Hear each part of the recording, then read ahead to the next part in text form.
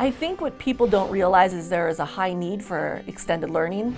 I can think of a particular third grade boy that uh, was not in the program, was not able to get help with his homework from his parents, so we got the student into the program, and now the teacher said he's flourishing, he's doing great with his homework, he's got the sense of responsibility to make sure that he gets everything completed.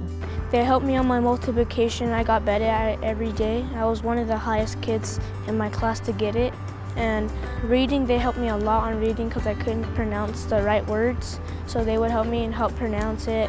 We have a good connection with the school, so it's a good transition uh, from the school day to the after school. So we go to line up and then we all say hi and then we go to classroom and then we eat and then we get to sit at tables with people in our class that we know and we get to do our homework together.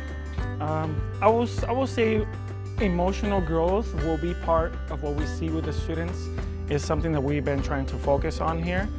My youngest is tends to be a little more reserved. She has opened up a lot more. So I have seen growth. I think one of the most important aspects is they learn responsibility. They get homework help, they get enrichment, and they get a dinner, so we know that they're being taken care of. And most of all, they enjoy the program the staff and the program leaders, they help us with homework and math problems, things that are really hard.